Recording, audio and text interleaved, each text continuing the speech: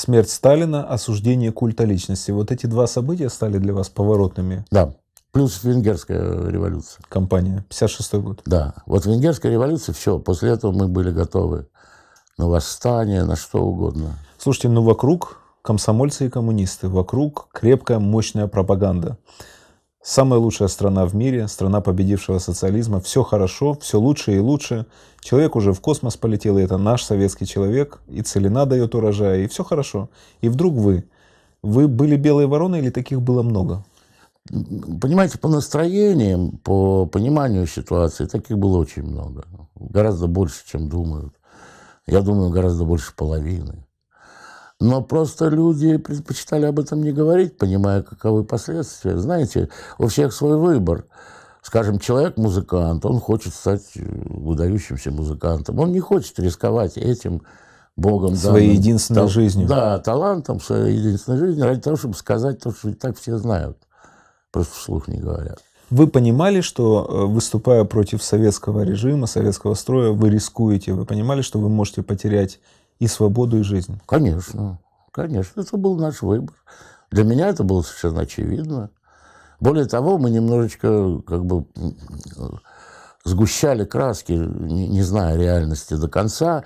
Я, например, когда первый раз попал на Лубянку, я был уверен, что меня будут пытать. Они меня не пытали, я был А как вы сильно- попали и за что первый раз на Лубянку? Первый раз я попал, это мне было сколько, 19? Официальное э, обвинение было владение запрещенной книгой, там, 70 Литературой, статья. Да, да. А, а, Вот. Но было, они уже давно следили. Это длинная история, вы читали в книжке. Сердечко из груди выскакивало, когда вас привели на Лубянку? Нет.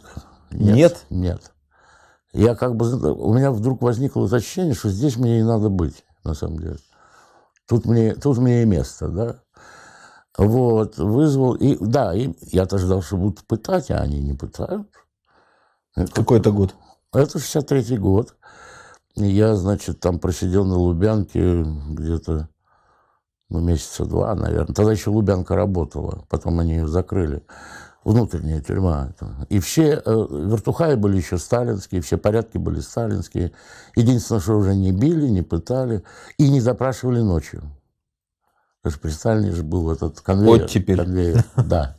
А менты были все те же самые. И порядки. Вот. Нет, у меня... Я только вот внутренне готовился, и мне было, конечно, ну, молодой пацан, мне интересно было, выдержу я, не выдержу. Вот. Вызов такой, да.